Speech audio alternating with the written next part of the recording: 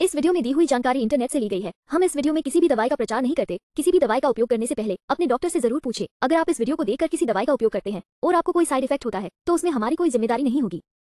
SPL tarentula हिस्पेनिका dilution एक homeopathic समाधान है, जिसका उपयोग सिरदर्द बेचैनी एडीएचडी ऑटिज्म और बच्चों में व्यवहार संबंधी समस्याओं सहित विभिन्न प्रकार की बीमारियों के लिए किया जा सकता है। ये कई प्रकार के मूड परिवर्तन, मन के उतार चढ़ाव से भी बचाने में मदद करता है। ये घोल दिल से जुड़ी कई समस्याओं से बचाने में भी मददगार है। चलिए जानते हैं इसके कुछ फायदों के बारे में।